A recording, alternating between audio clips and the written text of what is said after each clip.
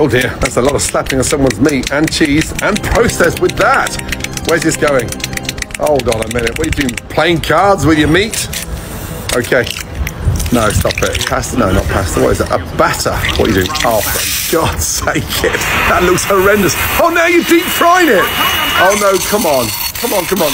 Crispy on the outside, heart attack in the middle. You have to be kidding me. Ah!